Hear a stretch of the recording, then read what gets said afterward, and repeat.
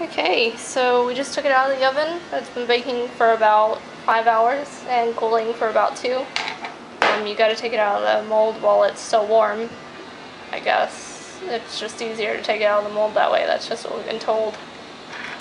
So now we gotta unscrew it and uh, it should be relatively quick to open, hopefully.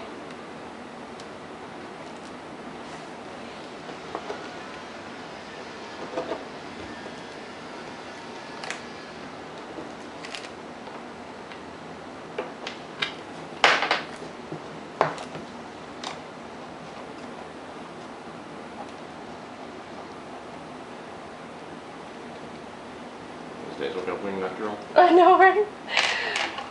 totally should have gotten one of those. It's tough for me to get off. Shut up!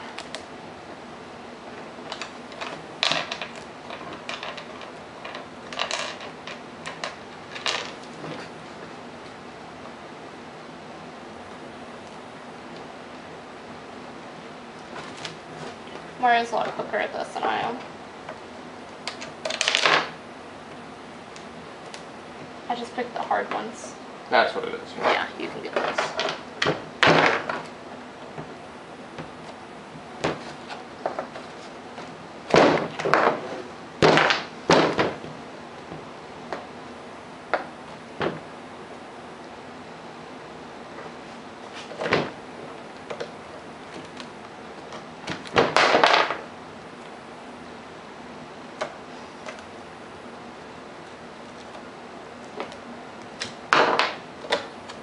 Oh, Hmm? almost. There you go. What did you do with this one? I didn't do anything. I did it to myself. Oh, and by the way, our table is not dirty. It is permanently like this. Yes, we didn't clean it at all because we're videotaping anything. This is resin. all right. We have popsicle sticks and screwdrivers and towel.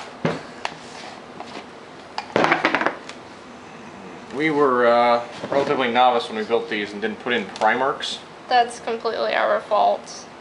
So if you happen to build fiberglass molds, make sure to put in Primarks. Um, it lets you split them after the fact. Uh, for me, I'm going to be using a screwdriver and probably breaking every rule of mold making and just kind of forcing this thing in here. Do as we say, not as we do.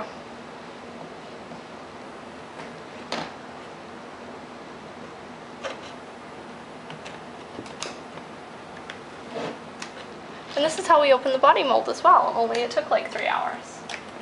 Wow. And about a thousand popsicle sticks.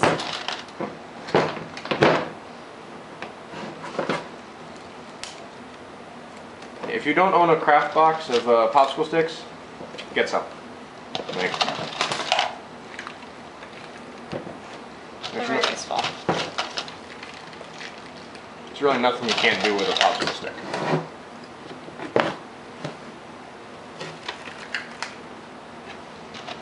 Alright, this is pretty well. Um, you might see steam escaping. That's um, Normal. Normal. The mold is actually still about 100 and, about 100 degrees or so right now. Um, this just makes it easiest to get the uh, material to release from the mold. It uh, has a tendency to stick if it cools. Oh yeah, tried to clean up those.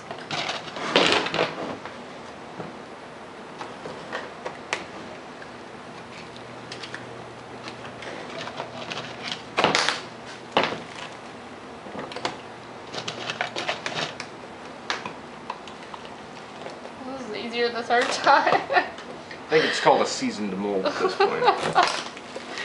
yeah, that's just opening. So, now that it's released all the way around, um, Alice is going to spread talc powder in here. It's, uh, we buy just straight talc. Um, you can, You can use baby powder too. baby powder will also work. It's the same stuff, just no scents.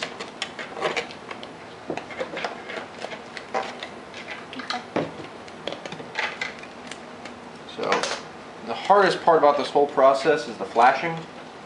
Uh, it's all the extra material that's squished between the sides of the mold. Uh, it has a tendency to uh, stick uh, to one side or the other and it never chooses the same. So, split the mold open real quick. You kind of just got to pick one side and push all the flashing to that side. It's kind of like working with a really big rubber band.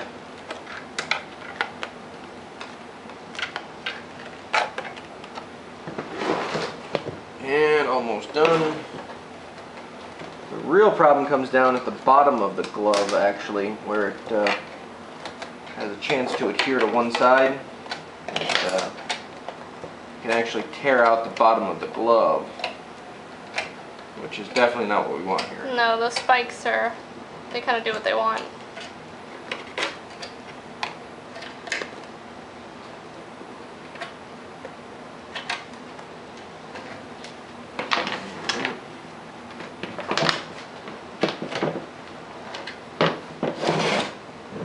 You just want to be really careful where you're working it. Um, we never really split it very far until we're 100% sure that it's fully released. hmm You don't want to rip anything. In this case, um, the uh, bottom edge, trying to block the camera, bottom edge of the glove adhered to the outside of the mold, so it just takes a There you go. quick work and Easy voila, Lift up. brand new glove. So throw some talc at it real quick, make sure, remove any adhesion. And moisture. Yep. Cool. To the other side. So we will, uh, you'll notice the glove mold has a uh, pipe in the bottom. It's to uh, ease the release of the uh, mold. Just like we did flashing before, now we have to go through and remove from the other side.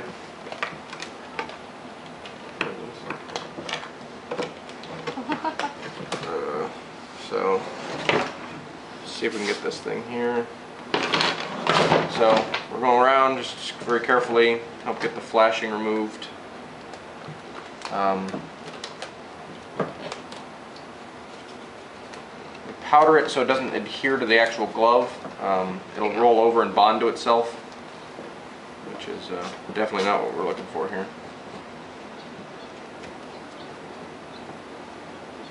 Alright, seems pretty good right now.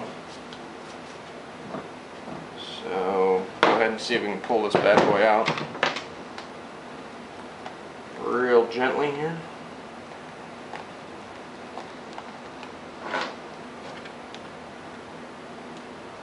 So it came loose on the fingers just fine. Cool. So, The browning is normal. It's from Art and Bolds. Yeah, we, uh, I don't know if it's us or something, but uh, foam is definitely fully cooked, nice and springy. Yeah, there's nothing wrong with the foam latex, and the coloring will be covered up with the paint. How's it look on the camera? It looks good.